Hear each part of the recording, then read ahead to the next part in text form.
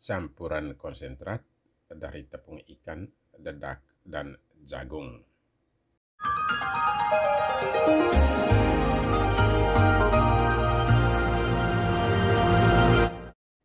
Sobat peternak yang baik hati di mana saja berada, salam hangat dari tapal batas Timor Leste. Semoga kita semua tetap sehat walafiat dan selalu semangat dalam beternak babi. Ya, sobat peternak, eh, salah satu hal yang paling menentukan supaya kita bisa meraup keuntungan sebesar-besarnya dalam beternak babi ialah soal pakan. Pakan yang harus kita berikan kepada ternak babi haruslah pakan bernutrisi. Kadar proteinnya minimal 16%. Untuk bisa mendapatkan uh, pakan dengan kadar protein minimal 16%, tentu bahan yang digunakan juga harus merupakan bahan-bahan bergizi, bahan-bahan bernutrisi yang mengandung protein yang cukup tinggi dan juga mengandung kalori kalori yang tinggi.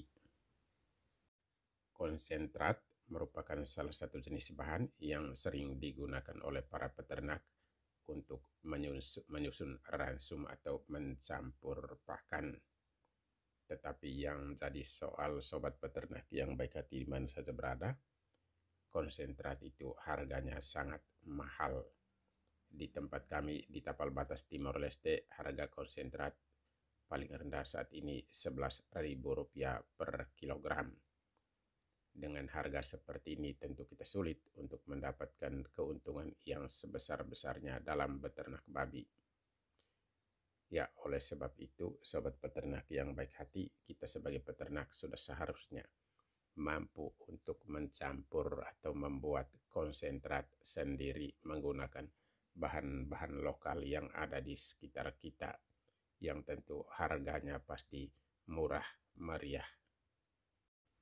Sesuai dengan pengalaman kami, kalau kita menggunakan konsentrat buatan sendiri dalam mencampur eh, pakan ternak, harganya paling-paling hanya Rp5.000 saja per kilogram. Jauh lebih murah, lebih untung daripada kalau kita menggunakan konsentrat uh, yang uh, dibeli dari toko-toko pakan.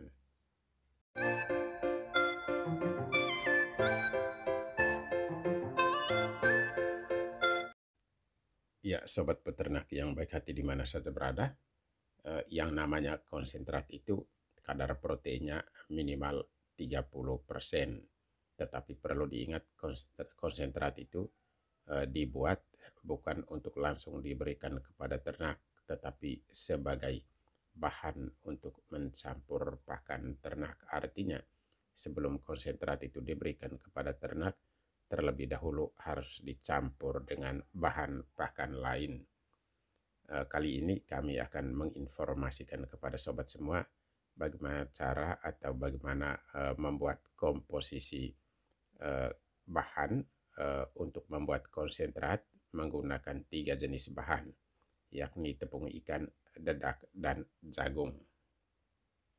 Ya, sobat peternak, konsentrat yang akan kami tampilkan ini uh, sejumlah 100 kg menggunakan tiga jenis bahan tadi tepung ikan, dedak, dan jagung. Sedangkan nanti jika sobat peternak mau membuat konsentrat yang jumlahnya misalnya 10 kilo, 5 kilo, atau 1 ton dan seterusnya uh, dapat melakukan penyesuaian-penyesuaian berdasarkan perhitungan yang sudah ada ini.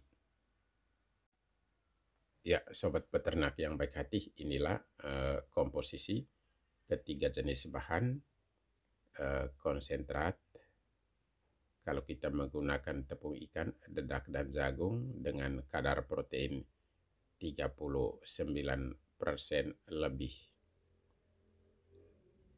Ya, mari kita perhatikan layar ini. E, ternyata e, dari 100 kg ransum, eh maaf, dari 100 kg konsentrat, tepung ikan dibutuhkan 65 kg, dedak 15 kg, jagung 20 kilo sehingga kita bisa mendapatkan konsentrat dengan kadar 39,1 persen. Ya, sobat peternak yang baik hati, seperti halnya kalau kita menyusun ransum, dalam menyusun konsentrat juga sama. Hal pertama yang harus kita perhatikan, kita harus mengetahui kadar protein masing-masing bahan. Kadar protein masing-masing bahan kita bisa melacaknya di Google atau di buku-buku ilmiah, atau kita mengecek di label yang tertulis di uh, kemasan daripada barang yang kita beli. Seperti seperti yang terlihat pada layar ini kita perhatikan kadar protein tepung ikan itu 55% ini kita dapatkan dari label yang tertulis di kemasannya. Kemudian dedak 10% eh, kita dapatkan dari buku-buku ilmiah atau Google. Begitu juga jagung 9,2% dari buku-buku ilmiah atau dari Google.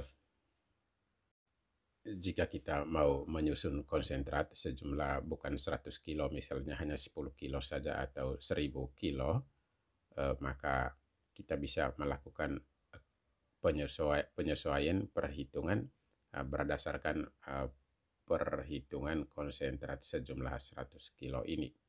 Ya misalnya kita menghendaki supaya 10 kilo saja tetapi kadar protein daripada konsentrat tersebut tetap 39,1 persen, maka cara hitungnya seperti ini.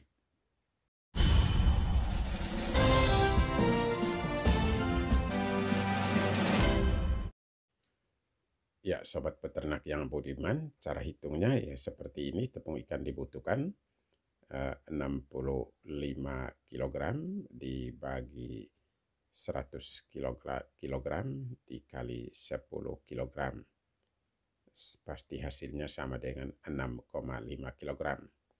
Kemudian dedak dibutuhkan 15 kg dibagi 100 kg dikali 10 kg pasti eh, kita peroleh angka 1,5 kg. Jagung 20 eh, kg dibagi 100 kg dikali 10 kg pasti diperoleh angka 2 kg. Lalu kita jumlahkan semua bahan yang ada itu eh, hasilnya pasti 10 kg. Ya, sobat peternak yang baik hati di mana saja berada, ya ternyata begitu mudah uh, kita bisa membuat atau menyusun konsentrat sendiri. Yang sudah pasti bahwa kalau kita menggantungkan uh, pencampuran pakan ternak uh, menggunakan konsentrat uh, dari toko atau dari pabrikan, pasti kita sulit untuk mendapatkan keuntungan berlipat. Mari mulai sekarang ya kita coba untuk membuat konsentrat sendiri. Niscaya pada suatu ketika kita bisa meraih keuntungan yang berlipat. Yang perlu diingat juga oleh sobat peternak semua bahwa kalau kita memelihara cukup 5 ekor induk babi saja, penghasilan kita sudah sama dengan pegawai negeri golongan 4. Tetapi kalau kita memelihara uh, bisa sampai dengan 10 ekor induk, penghasilan kita sudah sama dengan seorang pegawai negeri golongan 4 yang menduduki jabatan sebagai kepala dinas. Ya, sobat peternak yang baik hati, mudah-mudahan informasi singkat ini bermanfaat bagi kita semua. Salam hangat dari tapal batas Timor Leste, sampai jumpa lagi.